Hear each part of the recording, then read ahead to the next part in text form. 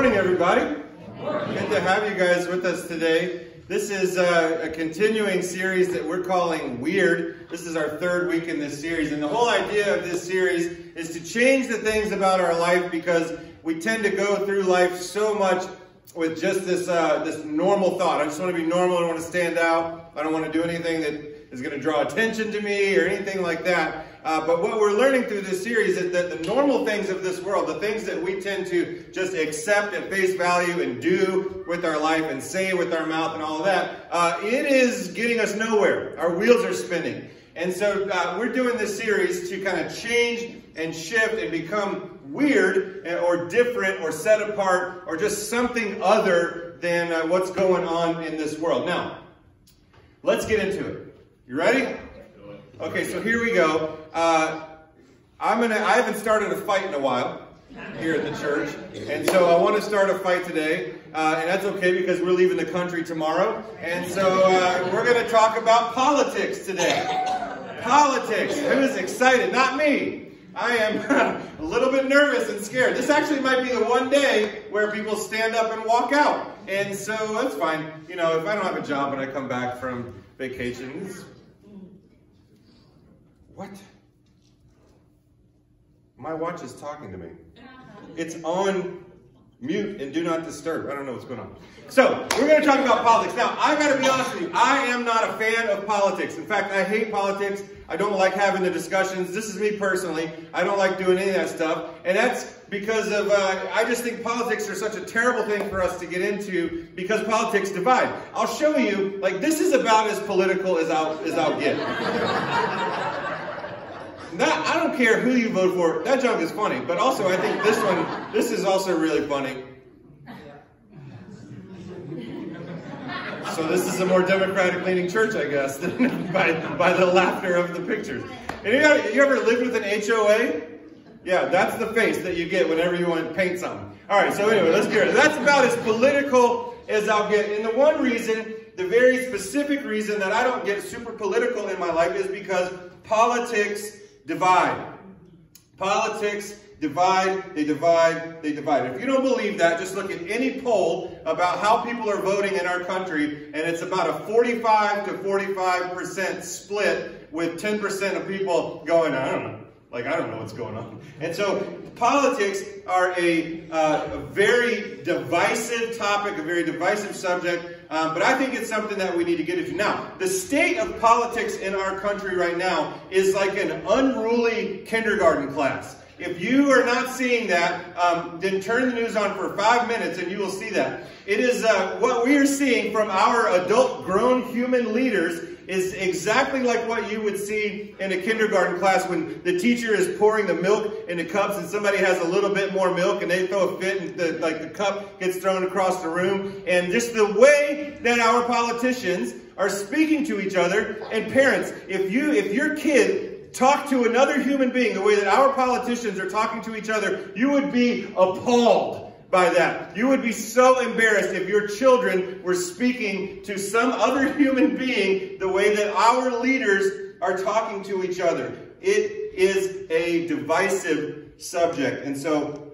what I've seen in my life with politics is that it consistently, consistently divides. How many of us in the room have lost relationships or uh, have had arguments or somebody's thrown a turkey against the wall at Thanksgiving because of vehement political disagreements. A lot of people have had uh, family rifts happen that seem irreparable because of talking about politics. All that being said, I believe that it's still something that we need to talk about. Politics involves real people with real flesh and blood, with real hearts, and it involves real issues. Now, I want to lay a baseline for our discussion on politics today, and it's this. Jesus must be our first priority. Shocking to hear in church, I'm sure. Jesus must be our first priority. What I need you to understand about this statement, it is not a useless platitude. It is not something that I'm just saying because it's what we're supposed to say. We get taught this in Bible college or anything like that. I'm saying Jesus must be our first priority because that is what the Bible teaches us. And that if we say we belong to Jesus, if we say we're going to give our life to Jesus and Jesus is not our first priority, we are hypocritical. And so the world would look at us and say they don't even believe what their book says. So Jesus has to be our first priority. We have to get weird when it comes to politics because normal politics and policies, they are not working. Here's how I see it going down. And usually I see it happening on social media. Somebody posts something and somebody writes, oh, that's dumb and so are you for believing that. And then somebody writes, no, you're dumb for not believing that. And then somebody goes, nuh-uh. And then somebody says, nanny, nanny, boo-boo, stick your head in whatever, all right? Normal when it comes to politics is reading the title of an article, getting all fired up, writing some comment about some dumb thing, and doing all that and starting a fight on social media when you've not even read the content of the article. This is normal in our social media, politically driven thing. We have got to make a change. We have got to get weird when it comes to politics. Now, the reason why is very simple. No matter what our political leaning or view, we have to understand that there will always be a tension between our political views and what God actually says. Okay, let me just leave that up there. I want to just take an aside real quick. I'm speaking for myself right here, okay?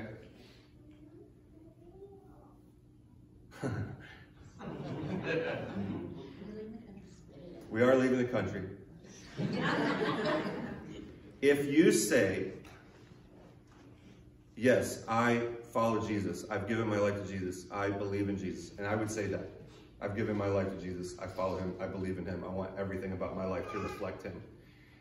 And your political views are higher than that statement, you will constantly be at odds with the Lord. You will constantly be at odds with God. There will always be a tension between our political views and what God says. And today I'm going to tell you why. Okay, so in the Bible, in 1 Samuel chapter 8, the Jewish people, they've come out of slavery and uh, they've, they've gone to the promised land. They are where they're supposed to be. And the Jewish people, the Israelite people, ask for a king. So they go to Samuel and they say, Samuel, give us a king. Now, who is Samuel? Samuel was a prophet of God. And a prophet is just a speaker for God. Somebody who God gives them a message and then they give that message to their people. That's who Samuel was. He was a prophet. Now, prior to the Israelites asking for a king, God was seen as their only ruler. We have to understand that. Before they, in, in 1 Samuel chapter 8, before the Israelite people asked for a king, God was seen as their king. God was seen as their ruler. It was a fantastic system. God spoke to Samuel. Samuel spoke to the people. God was in charge, and that's the way it was intended to be from the beginning. So that's why there will always be tension between a political party and God because it was intended for human beings from the beginning to only be ruled, to only be governed by what God says. And so now that we have the system that we have, there will always be tension. There will always be tension. People were never meant to have a political system. So when God created us, there was never meant to be a system other than God. No wonder politics is so divisive. The Jewish people in 1 Samuel chapter 8, verse 7, they asked Samuel for a king, and Samuel went to God and he was asking him about it. And God says this He says, Listen to all that the people are saying to you. It is not you they have rejected, but they have rejected me as their king. When the Israelite people asked for a king, God saw it as a rejection of him when they asked for a king, it was a rejection of God. God was already in charge. God was already providing for his people, and he saw that as a rejection of him. It would be like if you all one day said, you know what? I know we have a pastor, but we're going to go get a new one. And now I know that will never happen because you love me so much. but can you imagine how slighted I would feel? How rejected I would feel? How hurt I would feel about something like that? Put yourself in that situation. All right, you're sitting at your desk at work. All right, you're sitting at your desk at work, and then your boss comes by with somebody and says, "Hey, uh, you know, we're shopping around your position. Just want to let this person see where you sit and what you do." And you're sitting there like, "What the crap is going on? Like, I thought I had this job." You would feel rejected. Same thing would happen if your spouse came into your house and said, "Hey, this is uh, I'm thinking about bringing this one in," and you go, not a good idea. Right? You would feel rejected. And God felt rejected when Israel said, We want a king. We don't, eh, I don't know if we want you anymore. We want a king to rule us. The people rejected God as their ruler in favor of something far lesser. And that's a problem. And for us, when we elevate a political party or a political platform over the Bible, it is nothing more than a rejection of God. A continued rejection of God. And so the Israelite people ask God for a king. God says, You want to reject me and do that? Okay. And so a man named Saul is who the people chose to be their king. By all human accounts, Saul was the perfect choice. He was tall, he was strong, he was attractive, he was from a wealthy family. If we, if we take those qualifications and look at a lot of our politicians, we go, eh, okay, yeah, I can see that. Tall, strong, attractive, wealthy. And those are generally the people that we still choose. And so this is who Saul was. He was all of those things. But the issue with Saul, the problem with Saul, is that he repeatedly and habitually did the opposite of what God wanted. Repeatedly and habitually, he overstepped his authority. He lied. He ruled tyrannically. He made excuses for his poor behavior.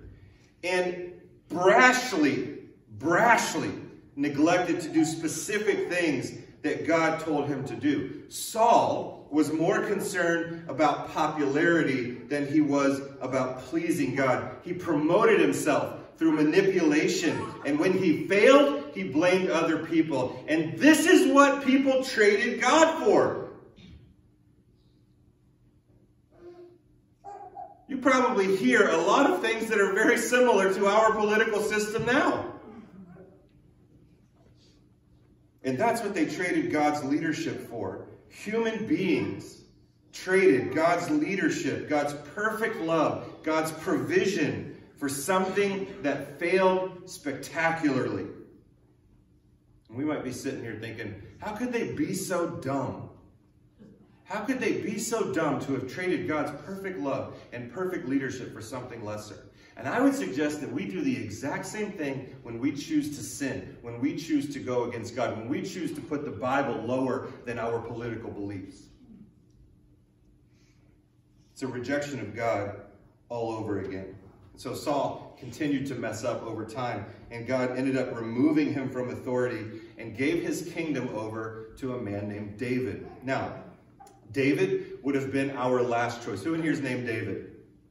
Yep, you would have been our last choice.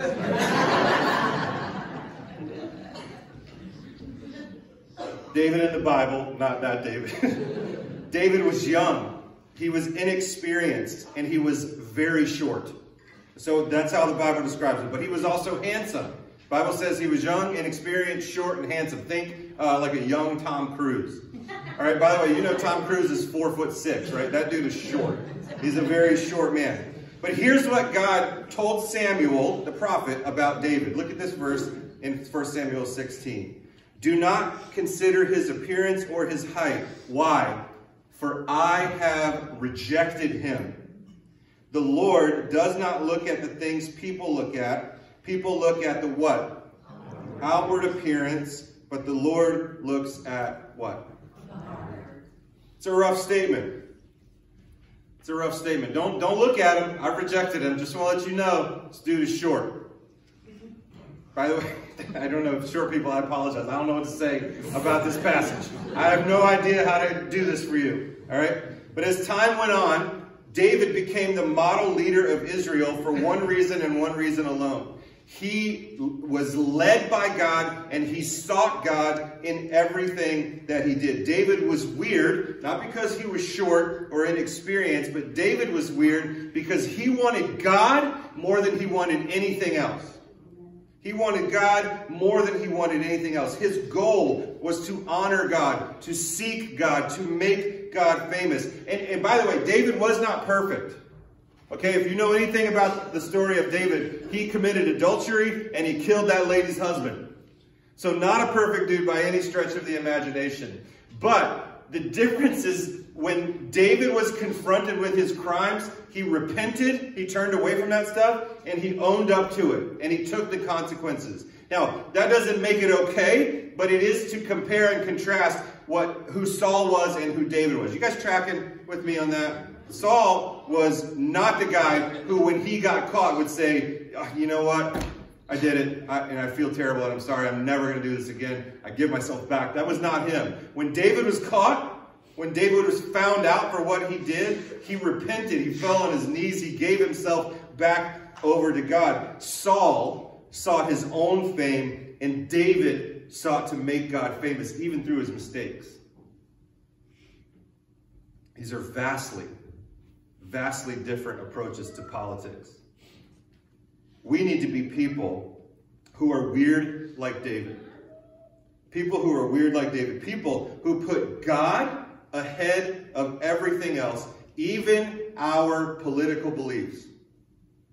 We need to put God ahead of our political beliefs, ahead of our political party, ahead of our own wants and desires, ahead of everything else. God needs to be ahead of everything else. I hope that's not like super shocking for you to hear me say that.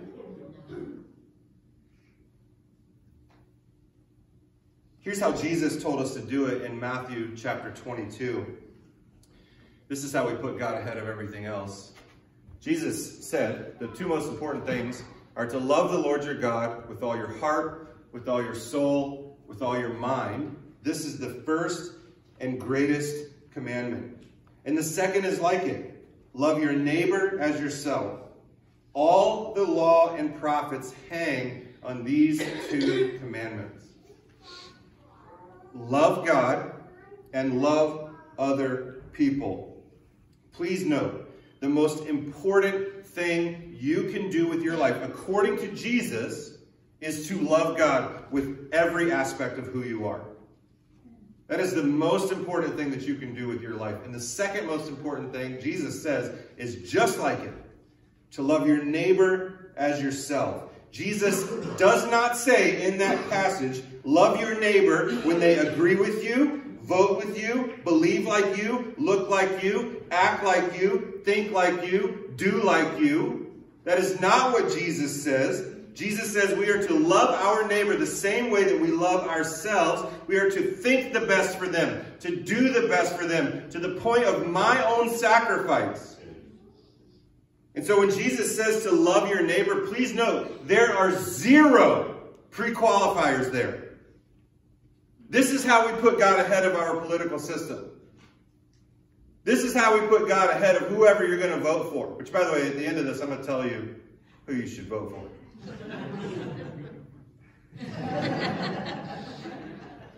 this is what Jesus wants us to do, to love God and to love other people. And there are zero pre-qualifiers for that. Yet here's what I see.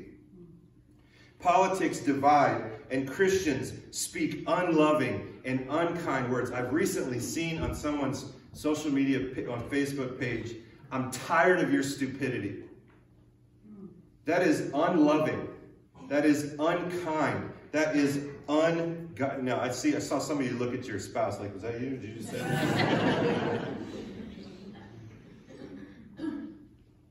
so listen.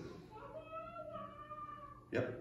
If we say, if we say, I love God, if you can say, I love God, and you treat anyone, if you treat anyone poorly, the Bible calls you a liar.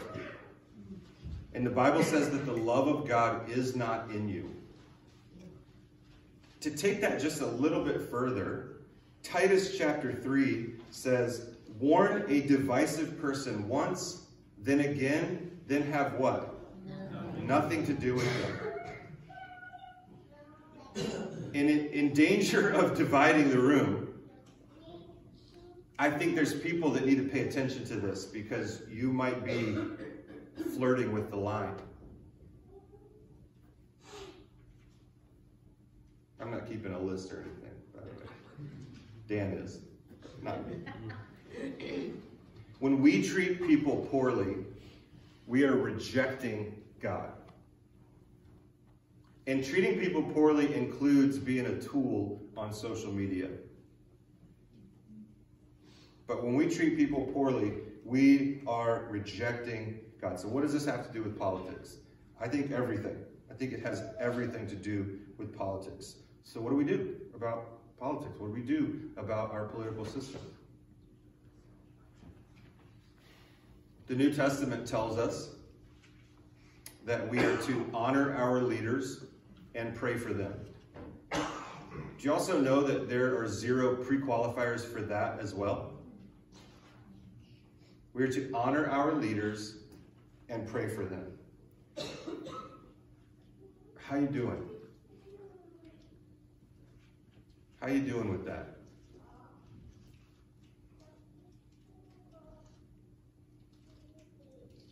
A lot of people are bold, man. A lot of people are bold, but we ignore what God has blatantly told us to do in favor of being right, in favor of pushing our own agenda, whatever it might be. above all else, this Jesus wants you to be faithful. Jesus wants you to be faithful. Love God, love other people. Love God, love other people. That is what Jesus has called us to be faithful to. To loving God and to loving other people. And so I have a question for you. Are you willing to put your faith filter ahead of your political filter? Are you willing to put your faith filter ahead of your political filter? Okay, so I want to say a couple, three things, three more things, and then I'll let this tense moment pass. so glad we're going to the country tomorrow. We're going to hide. We're going to have to hide after this, right? Okay. All right, so let's get weird about all. Let's get super weird about politics. I'm gonna give you three things you can do to be weird when it comes to politics. First one is this. Uh, you can disagree politically with someone. We can disagree politically. In fact, I know that this church disagrees probably half and half politically because I see what you write and I have conversations with you. And so I know that even in this church, we can disagree politically. It is okay to disagree. It is not okay to be divisive. There's a huge difference there. You and I might have a discussion about something and end that conversation on opposite sides of the argument. And you know what? That's okay if we did not dishonor one another during that conversation. We can disagree politically and not be divisive. And so, all right, I, I started this whole thing with I hate politics. I'm not a fan of politics. That's me. You, if God is calling you into that world, into that arena, then by all means go. Like listen to what God is leading you to do. If you need to wade into political waters, go and do that. I'm not going to do that. That's just not who I am. I honestly don't care about it. I don't care who our president is, and I probably shouldn't even. Say, I could not care less who is leading our country. I'm just being honest with you, and I know some people are going to be upset with me about that, but I don't care. I want to be faithful to Jesus. And I know that if we are faithful to Jesus and we give ourselves Jesus, no matter what happens in Washington or in Albany or wherever 97 layers of government are here in Liverpool, I don't, whatever happens there, if we are faithful to Jesus, even if we die, we will be okay. So I'm not going to get into a lot of political discussions. Never will I get into a political discussion on Facebook. But if I am going to get into a political discussion with you, or if you're going to get into that conversation with someone else, I want to encourage you to do it face to face. Not even texting.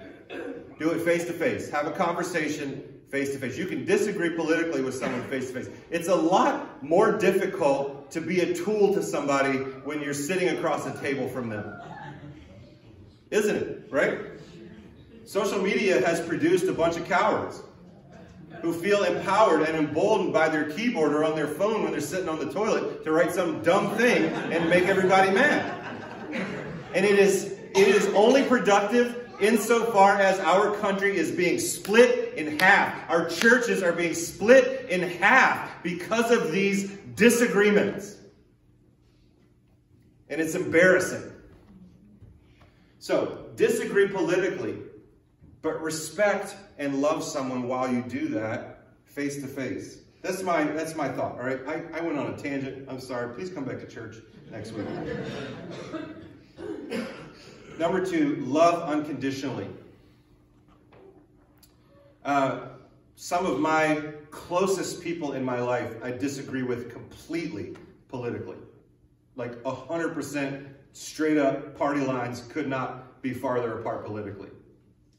But that does not stop us from loving each other unconditionally with zero pre-qualifiers the way that Jesus told us to do. So you can disagree with someone politically and, and you can love them unconditionally.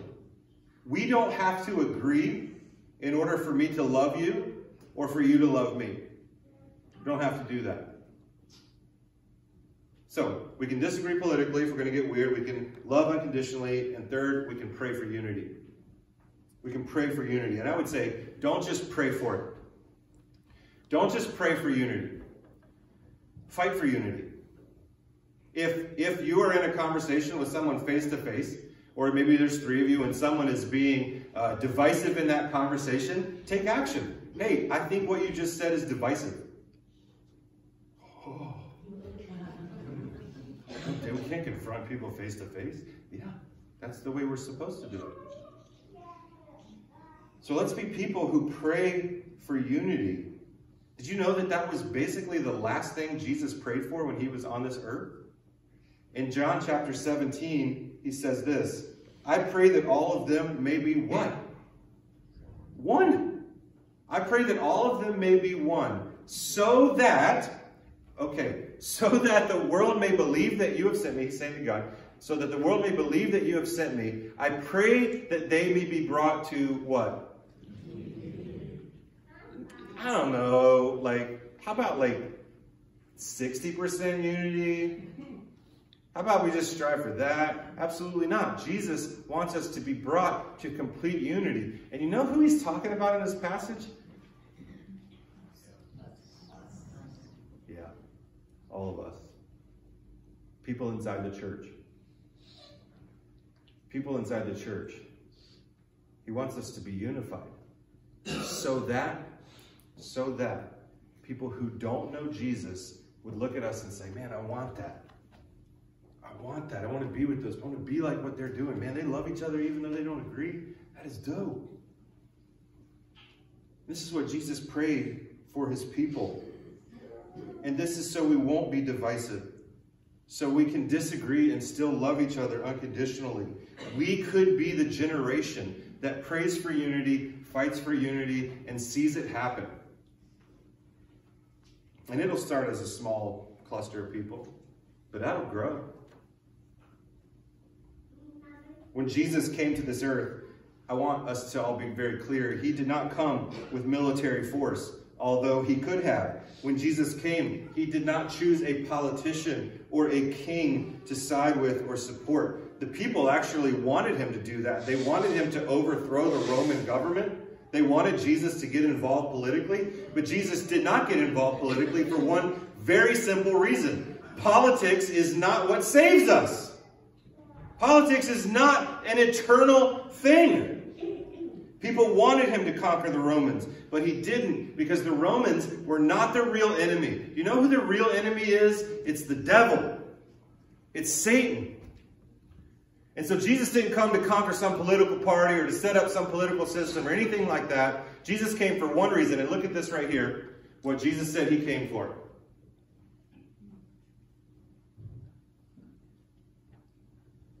I came to seek and to save that which was lost. Guys, if you can't be convinced from why Jesus came as to what our focus is as Christian people, then I, I don't know if I could, I don't know if I could help. I don't know if I can help. This is why Jesus came to seek and to save the lost, because that's the real enemy. That's the real issue. The real issue in life that we have to deal with, that we must deal with, is the sin that we commit against God, that separates us from God, that pulls us apart from God. And Jesus came into this place, into this earth, so that that gap between us and God would be filled by what he did on the cross. So that our sins could be forgiven. Because the real enemy is death. It's not somebody who disagrees with you.